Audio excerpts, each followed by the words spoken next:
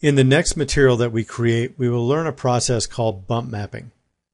This is a rendering trick that creates the illusion of additional geometry on the surface of an object. If you're continuing from the previous section, then you don't need to do anything special. However, if you're starting from a new scene, go ahead and open the file Chapter 4 Interior Material 04.max.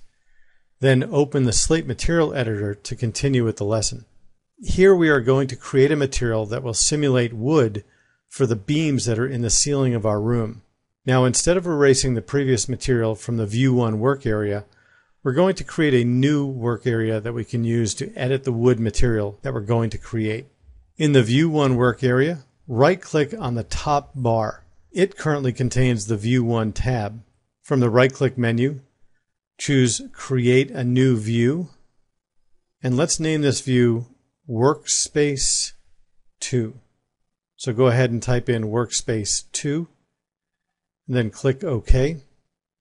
That creates a new empty workspace that we can use to create the wood material that we're going to apply to the beams on the ceiling. In the Material Map browser, scroll the Navigator window until you get to the Mental Ray rollout for materials. We'll select from the Mental Ray Materials rollout the Autodesk hardwood material and drag it into our workspace. You'll notice that it comes with two maps connected to the map slots in the Autodesk hardwood material node. We want to remove these two maps because we're going to replace them with a different map.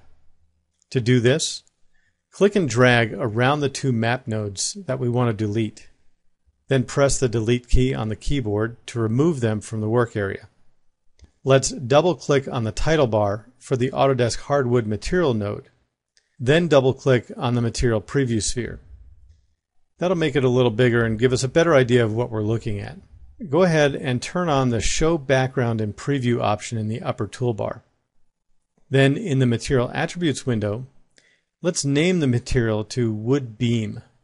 Go ahead and type in Wood Beam in the text entry box and press Enter to accept the name. In the Maps rollout of the Material Map browser, navigate to where you see the Wood map.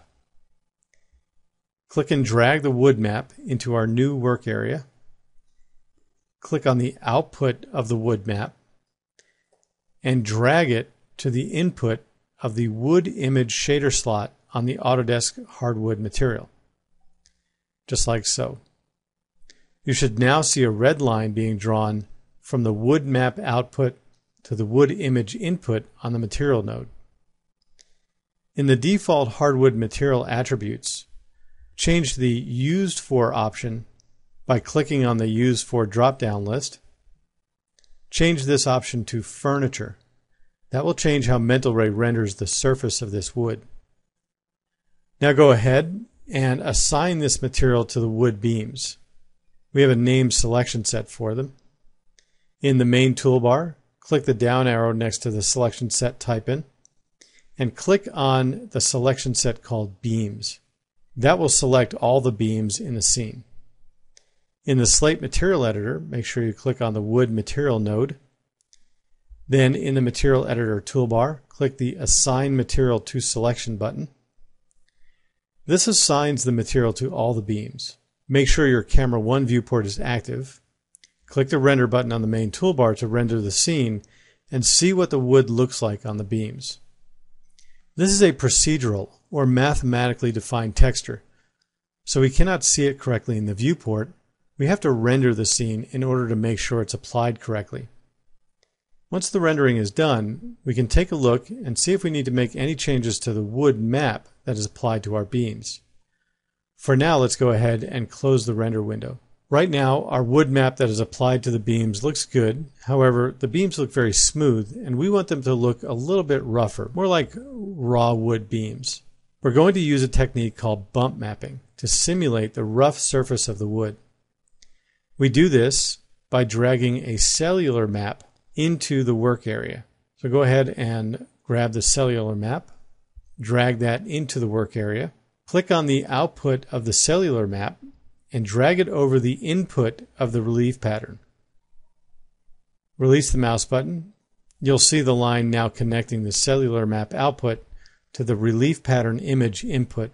The relief pattern is the bump channel for the Autodesk hardwood material. The way bump mapping works is it uses the grayscale values in a map to virtually push and pull the surface of an object at render time. This makes it seem like there's a little more detail in the geometry than is really present. In this case, we're using the values in the color of the cellular map to create the bump illusion. The last thing we need to do is tell the material to use this map. Double click on the material in the Slate Material Editor, and in the Relief Patterns rollout, click on the Type drop down list and select Custom. This will tell the material to use the map that we just assigned to that channel. Change the amount to 0.5. Now let's take a look at the map that we're using to create this bump. Double click on the cellular map to get the map attributes. If we double click on the preview window, it will expand it and make it a little larger for us to view it better. In the attributes editor, in the cellular parameters rollout cell characteristics area, click on the chips style and check the fractal checkbox. That will make this a little less of a blobby look and more of a cut look. We'll leave the size and other options alone until we know what this is going to look like in the rendered image. Now if you look in the map node of our work area, you can see the grayscale image that will be used to create the bump on the surface. Go ahead, let's render the camera 1 viewport again. Click the Render button in the main toolbar and let this render.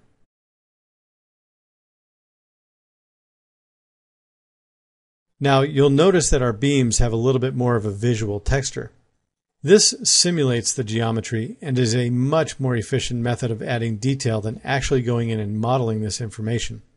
It would take an awfully long time to model this properly, not to mention it would add an additional amount of rendering time to your frame. Press Ctrl S to save your file, then go ahead and save an increment of this file.